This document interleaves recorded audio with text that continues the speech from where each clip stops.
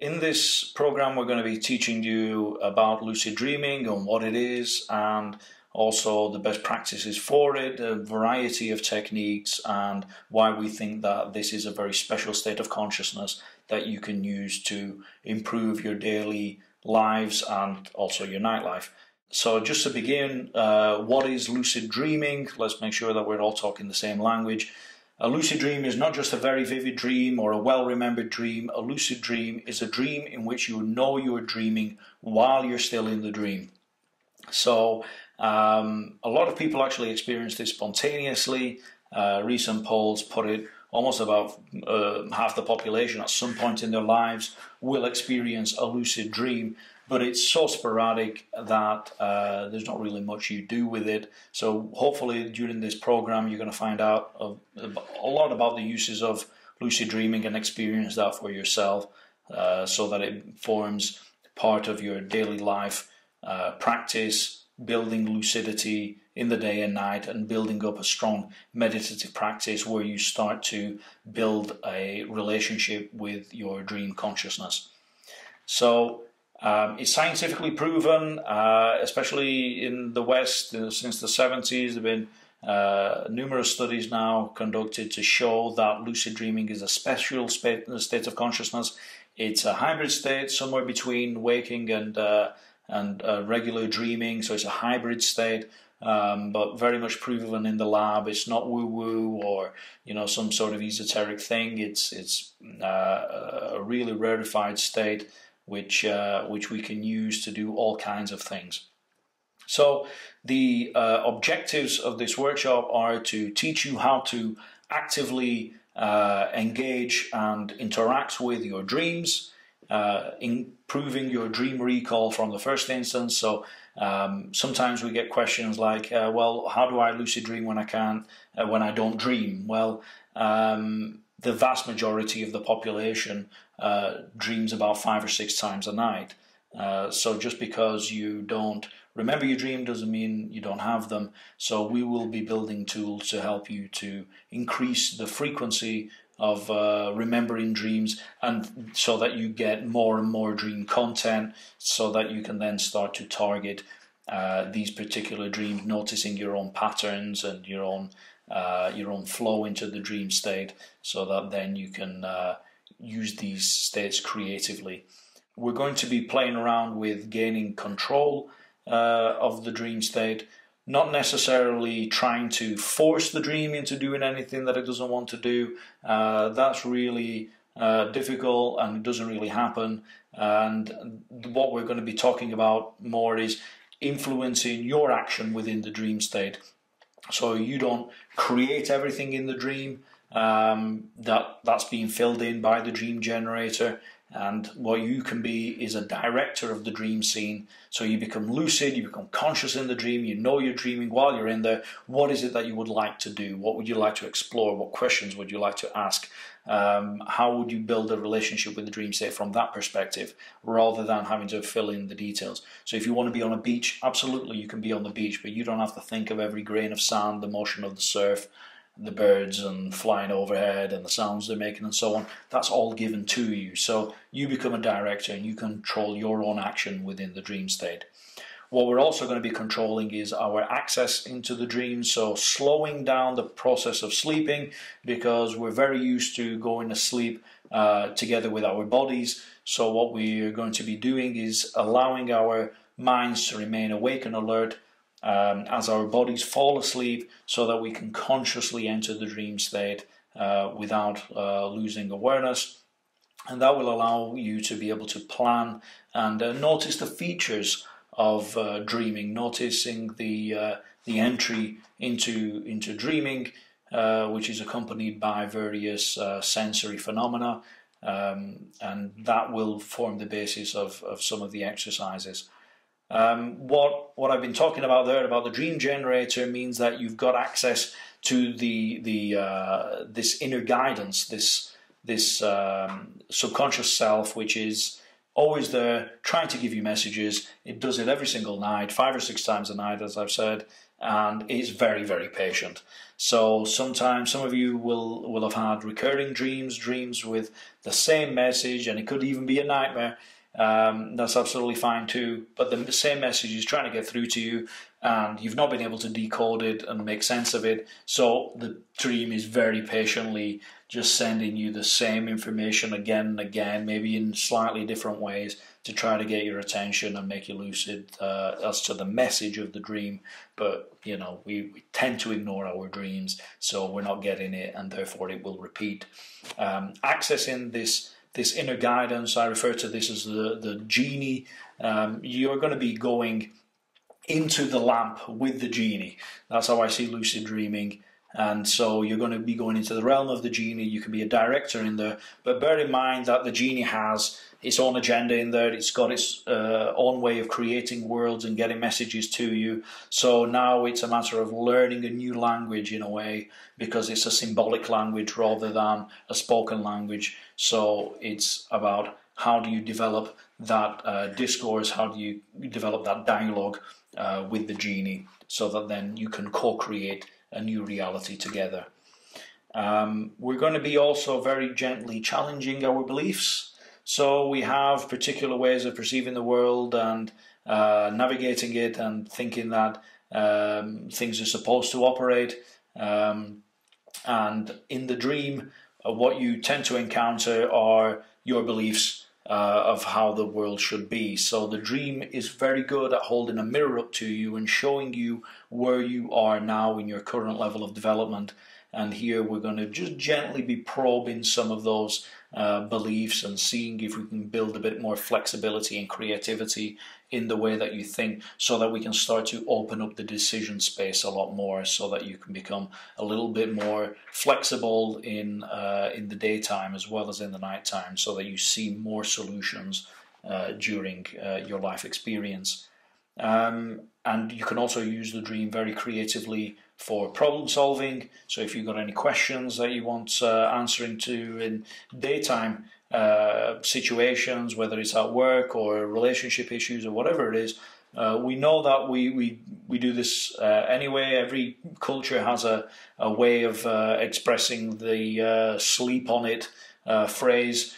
And we know that the nighttime is incredibly creative at taking the problems of the daytime and building in new connections, new perspectives, so that when we wake up in the morning, we've got more possibilities and more answers to our problems. Here we're going to be uh, going in directly to to do that sort of work so that we can um, build an interaction with the dream state so that we don't have to passively wait until the morning to be able to interact. But we can do that on the approach to sleep and then in the dream so that when you get an answer you can interact with it a little bit and feed it back in again and, and see if you can get some more uh, dialogue and perspective on that. And last but by no means least, uh, have fun with the state. You know, this is a very, very playful state. Uh, the subconscious is incredibly uh, playful as well, and, and will probably poke fun at you if you if you take yourself too seriously. You really are in a virtual reality where you can do whatever you want. It's an incredibly safe space. You are in your own mind, and you can test a lot of things out.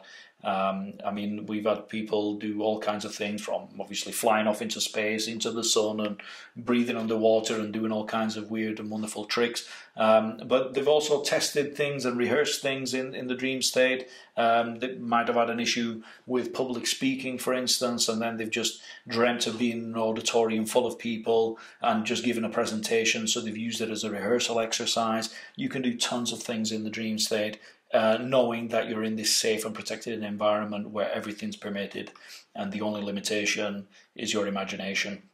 So uh, that's what we're going to be covering uh, during this program. We're going to be really uh, exploring many, many different techniques and then uh, towards the end, really start building some uh, nighttime interruption techniques as well. So well, hopefully you'll start to uh, to build more lucidity in your day and the night and find that this adventure together is uh, very enjoyable. And so this leads us to the to the next point. Why do we want to dream uh, uh, lucidly? How do you use lucid dreaming? So, and we are, when we ask this question, maybe we we look at the development of a lucid dreamer and see it from uh, uh, this perspective. Because when we when we start lucid dreaming, usually, and this is what I strongly recommend, uh, usually we start playing in a lucid dream. This is the first stage of the lucid dreamer. You, you play in in your dreams with what you get. So, as a beginner, don't take it too seriously because there's a belief in our society that we have to suffer to to develop. And this is actually not true. We can transform a lot of things through humor and through and things are often transformed uh, only because we look at them. So uh, to be playful and to start lucid dreaming with playing is, is a perfect start.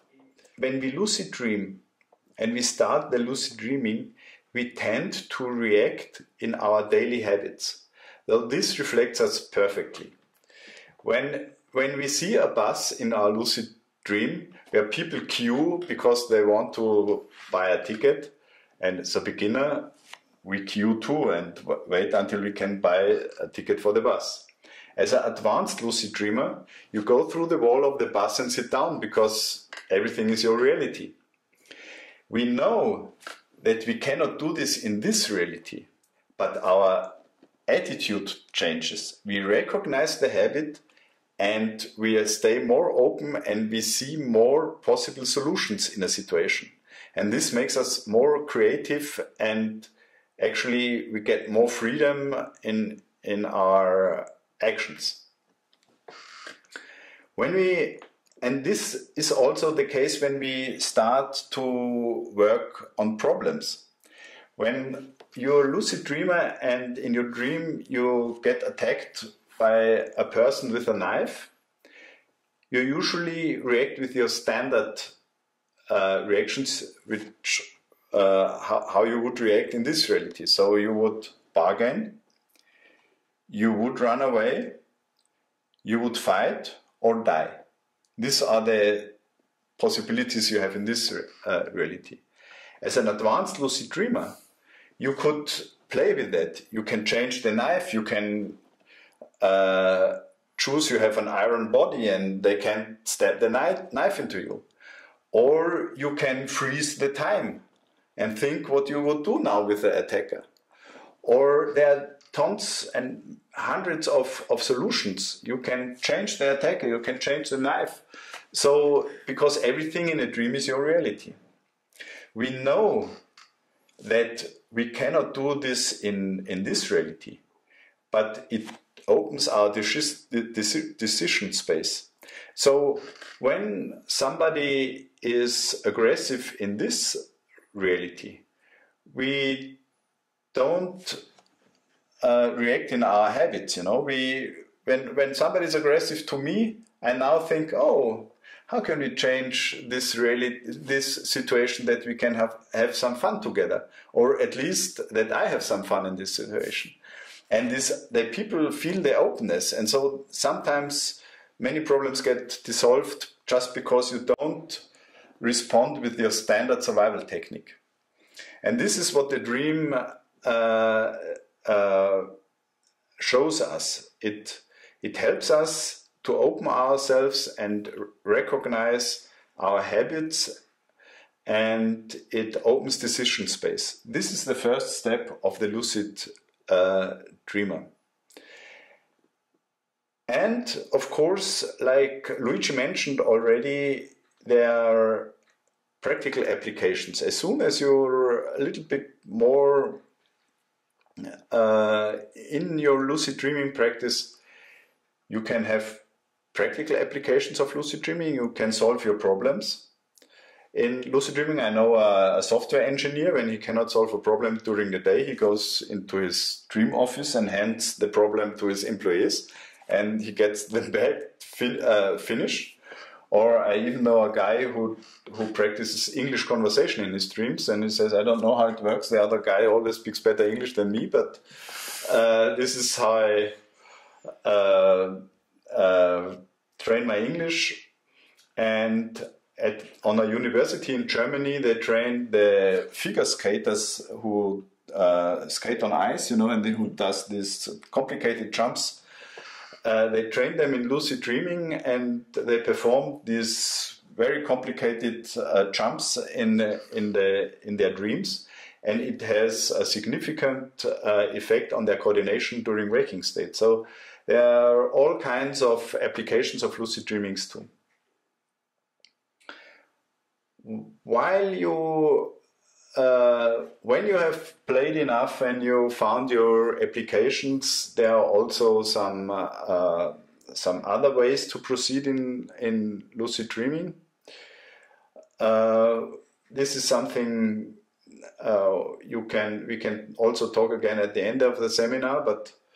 Uh, also, lucid dreaming and meditation is very related so we can meditate during a lucid dream and so we can also develop a night practice if you are interested in that and if you want it these are the uh, our main goals yep. during during this seminar.